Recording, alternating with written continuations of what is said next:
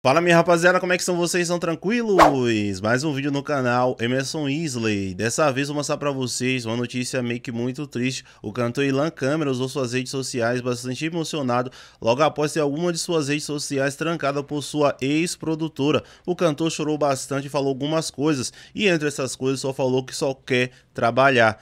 Antes de eu mostrar esse conteúdo para você, eu gostaria de pedir para você que está chegando aqui agora, primeiramente, seja bem-vindo ao nosso meio de canal. Não se esqueça de se inscrever aqui embaixo, ativar o sininho de notificações e, é claro, deixar o seu like para você ser lembrado toda vez que eu postar conteúdos novos aqui.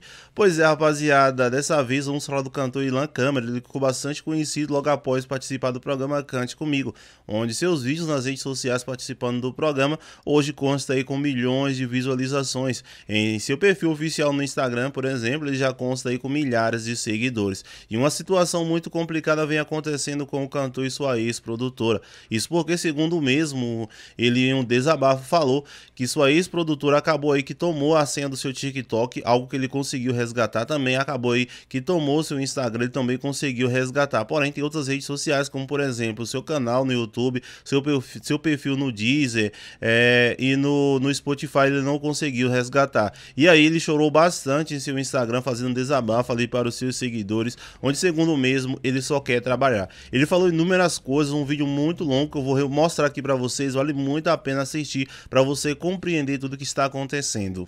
Boa noite, gente. É, eu tô abrindo essa live aqui para expressar, me desabafar com vocês o que vem acontecendo em minha vida na minha vida profissional, na minha vida pessoal. É... Eu quero falar, pessoal, que não tá sendo fácil a minha vida, tá bom? Eu tô passando por momentos muito difíceis na minha carreira, demais da conta, muito difícil. Eu não tô bem, não tô dormindo direito, não tô comendo direito. E eu quero falar para vocês, quero conversar com vocês, explicar um pouco da situação, o que está acontecendo.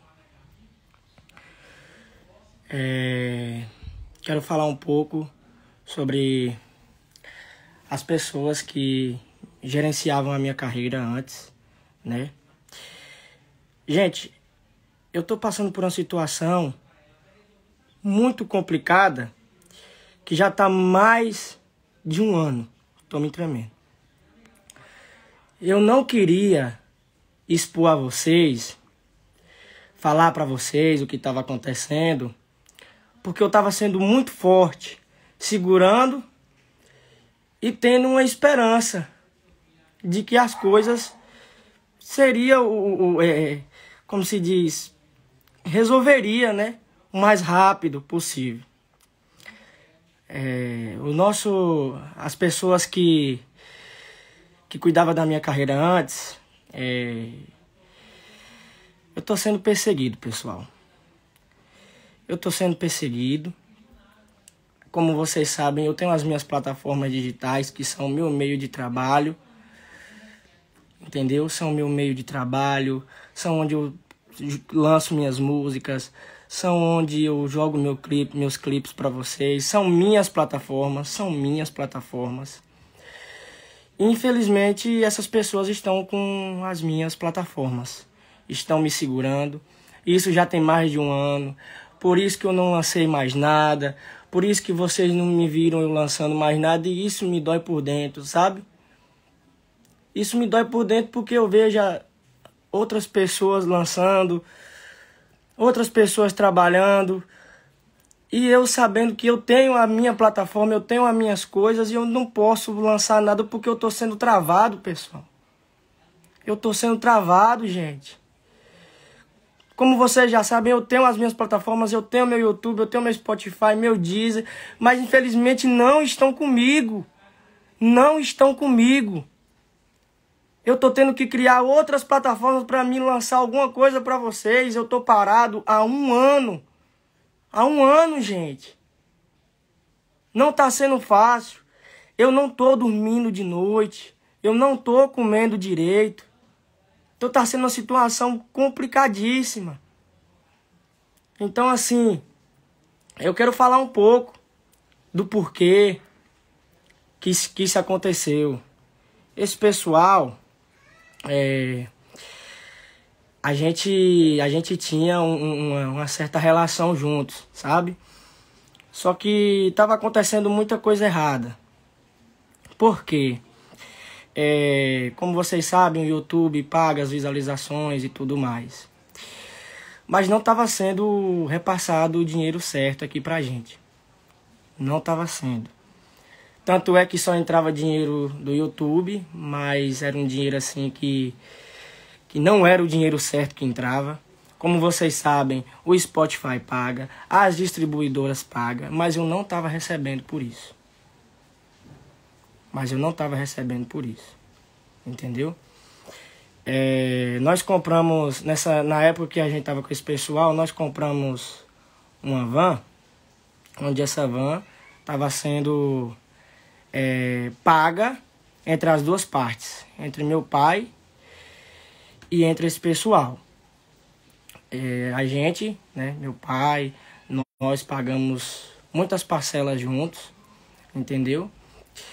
E aí simplesmente no dia em que em que nós é, resolvemos um seguir o caminho um, um do outro, essa pessoa infelizmente falou que a gente não tinha van, não tinha parte nessa van, sendo que nós ajudamos pagar. É, essa pessoa falou, tem, tem um contrato que a, a pessoa falou que a gente tinha também uma parte desse transporte. Hoje eu não sei onde está esse transporte, tá certo? Não sei se venderam, não sei se está com outro artista, mas não foi repassado nada pra gente, entendeu? Da metade do dinheiro que nós também colocamos nesse investimento. E, e entre outra série de coisas, pessoal. Outra série de coisas. É, essa pessoa tem uma pilha, uma pilha pro microfone para fazer um show descontava uma pilha uma pilha. Então, assim, eu prefiro parar a minha carreira se um dia acontecer de ter que voltar para esse pessoal. Eu não quero. Eu estou sendo muito franco com vocês. Estou sendo muito franco com vocês. Isso já tem um ano. Vocês podem entrar lá no meu YouTube e ver que a minha última publicação, o meu último vídeo lançado, tem basicamente um ano. Um ano. E eu não queria entrar em live, eu não queria expor isso para vocês, mas infelizmente eu não aguento mais. Eu tô com o meu psicológico muito abalado, não durmo direito, não tô comendo direito.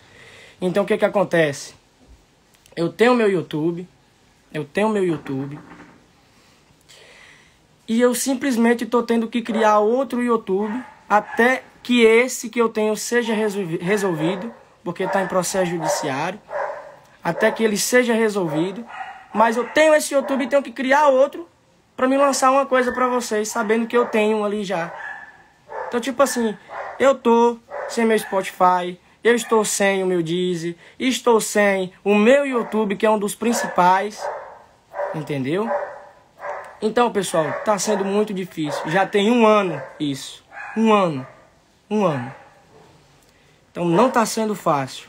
Não está sendo fácil. Mas eu tenho certeza, gente, que Deus vai abençoar, que vai dar tudo certo em nome do Senhor Jesus. Eu eu não sei mais o que fazer. E é isso. Até o pessoal da da minha banda na gestão desse pessoal ninguém ficaria, porque é uma pessoa muito arrogante. Eu, eu não consigo, eu prefiro parar. Estou sendo muito franco com todos vocês, com todos os meus seguidores. Eu prefiro parar do que voltar para esse pessoal. E é isso, eu, eu não consigo falar mais.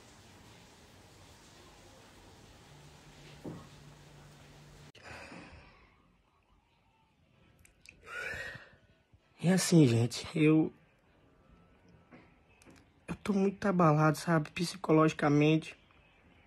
uma das pessoas que está sendo muito forte comigo é minha mãe, meu pai. Também eu quero agradecer ao novo pessoal que entrou que, nesse projeto na minha vida para me ajudar, porque se não fosse eles eu eu não sei onde é que eu estaria, sabe? Porque nesse ano todo quem estava na gestão era o meu pai. Só que meu pai não tinha essa tanta, tanta experiência no mercado da música. Eu sem nenhuma plataforma, eu só tava aqui com meu Instagram, que eu tenho provas que me hackearam ainda. Eu tenho provas que me hackearam, mas com a ajuda de um grande amigo que passou a noite toda, conseguiu recuperar meu Instagram. Eles tomaram meu TikTok, tiraram a senha, me deslogaram. E, e aí, como é, as plataformas estão no processo judiciário, eu, eu consegui recuperar novamente meu TikTok. E, e eles tentando entrar, tentando entrar. Eu tenho provas aqui dos códigos que estavam chegando deles. Eles mudaram meu nome, vocês podem ir lá agora no meu TikTok. O TikTok que eu tinha antes. Eles mudaram para Músicas e Cias, o nome. Que eu só posso alterar agora dia 18 desse mês. E também é, eles apagaram os meus vídeos todos do TikTok, mas como tem um recurso no TikTok, eu consegui recuperar os vídeos. Mas eu quero muito o meu YouTube, gente. O meu YouTube é minha plataforma, o meu meio de trabalho. Tem 318 mil pessoas que me acompanham. A minha placa de 100 mil inscritos, que tem meu nome, Lan Câmara, Vaqueirinho de Luxo, está com eles. Eu não tô com essa minha placa. Está com eles. Eu quero as minhas plataformas. Eu só quero trabalhar. Eu só quero fazer o meu futuro, fazer a minha vida. Só isso que eu quero. É só isso, pessoal.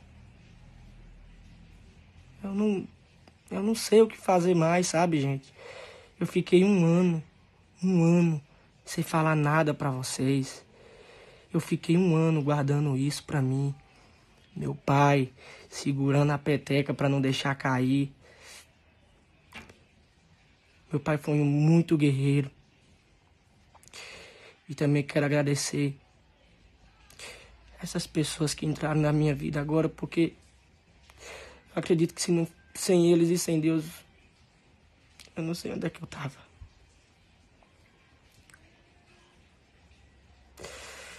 Tchau, gente. Pois é, rapaziada, como vocês viram aí o desabafo de Lan Câmera aí sobre essa situação que vem acontecendo com ele. Muito triste, velho, e poxa, é complicado demais. Mas enfim, você assistindo esse vídeo, o que, é que vocês acharam disso mesmo, hein? Deixa aqui embaixo nos comentários. Bom, gente, muito obrigado por assistir até aqui, espero vocês no próximo. Um abraço e até qualquer momento, tamo junto.